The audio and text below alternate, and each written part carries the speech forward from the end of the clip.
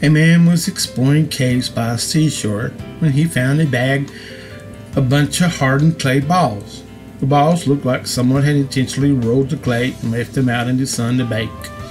Perhaps some children made them while they were at the beach, he thought. They didn't look like much, but they intrigued the man, so he took the bag out of the cave with him. As he strolled along the beach, he threw the clay balls one by one out into the oceans as far as he could. Clay balls would fly and disappear into the ocean. The man threw several clay balls in the ocean until he dropped one of the balls and it cracked open. Inside the ball was a beautiful, precious stone. This excited the man, and he started breaking the remaining clay balls. Each of it, each one of them contained different types of precious stones.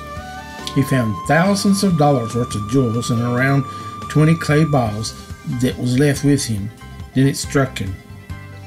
He had been on the beach for a long time and he must have thrown away many clay balls with hidden treasure into the sea. He could have had a treasure worth of tens of thousands of dollars rather than just a thousand. He had not thrown if he had not thrown the clay balls away. Most of the time we look at someone or even ourselves and we see the external clay vessel.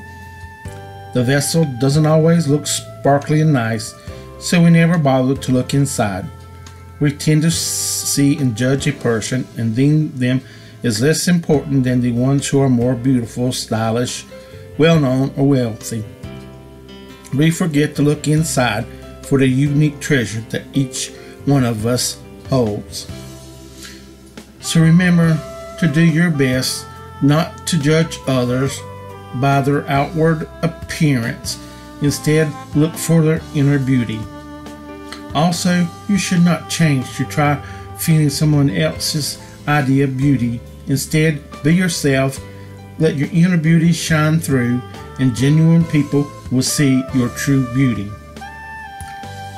May we not come into the end of our lives and realize that we have thrown away a fortune in friendships, love, or any relationship because we not, did not attempt to look for the gems hidden in the bits of clay. Let us all relish the treasures each of us hold inside us.